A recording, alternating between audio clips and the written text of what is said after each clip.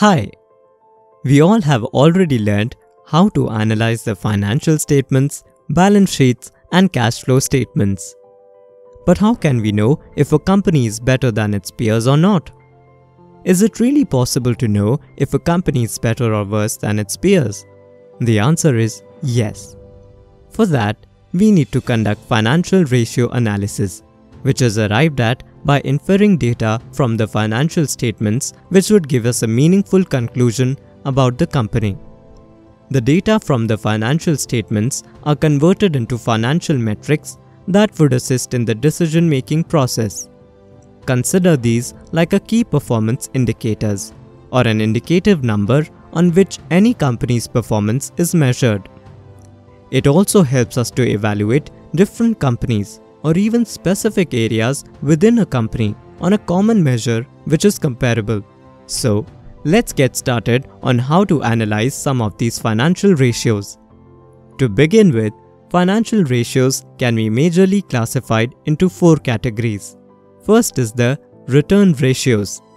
These are the ratios which represent the return that the company generates or has the ability to generate return for its shareholders. It basically shows whether a company is utilizing its equity and debt capital efficiently in order to be profitable and generate returns for its shareholders.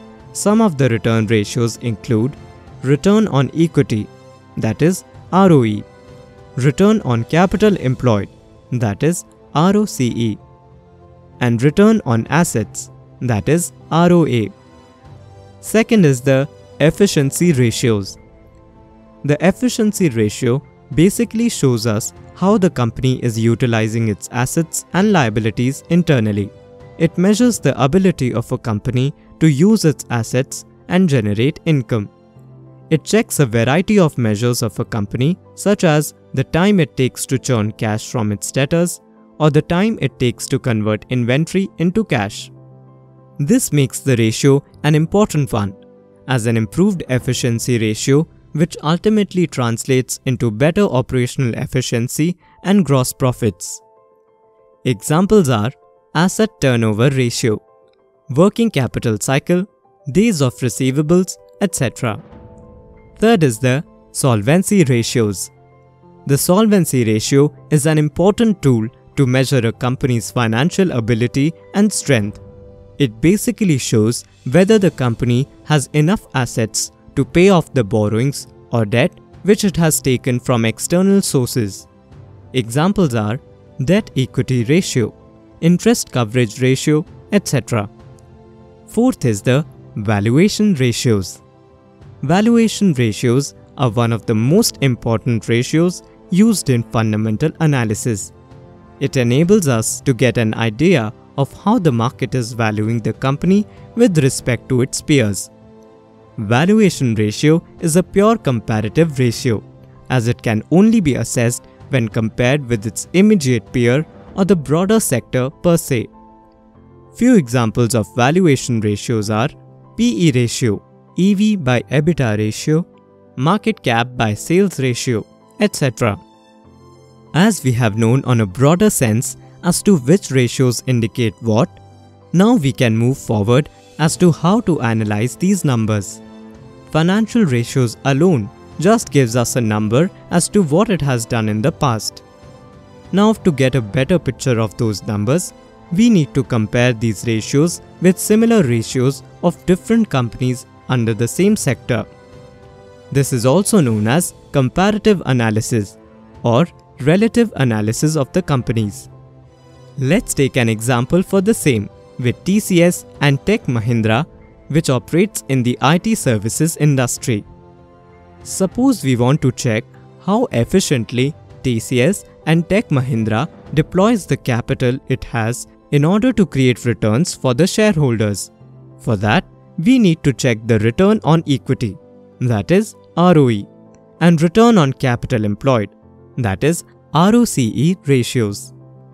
TCS has a ROE of 36.18% and ROCE of 47.79%. Tech Mahindra has a ROE of 22.74% and ROCE of 24.98%.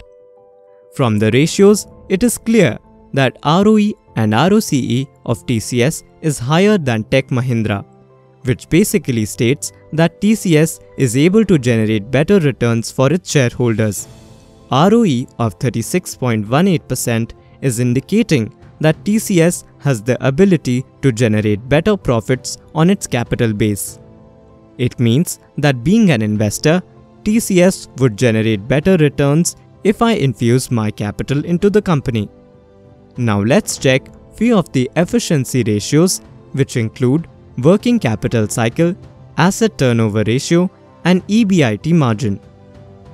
In case of TCS, working capital cycle is 40.64 days. Asset turnover ratio is 1.36. EBIT margins is 28.51%. In case of Tech Mahindra, working capital cycle is 30.4 days. Asset turnover ratio is 1.11. EBIT margins is 16.5%. From these ratios, we can analyze that Tech Mahindra has a better working capital cycle as it gets back its money in a lesser number of days as compared to TCS. In other words, clients pay Tech Mahindra in a better manner than TCS. Other than that, TCS has a better asset turnover and EBIT margin ratio, which means it has better operations as compared to Tech Mahindra, meaning that from an operations standpoint, TCS may be able to run the day-to-day operations more effectively.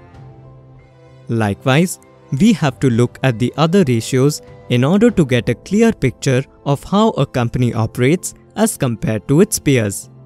Financial ratios are basically used while doing a peer analysis so as to find out which company has a better ratio in the particular industry.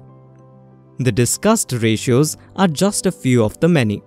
There are a lot more number of ratios out there. But accessing all the ratios would be a hectic task and one would not be able to reach a conclusion just based on that. So, it is important to know as to which and what ratio are actually needed to analyze which sector. Thank you for watching the video.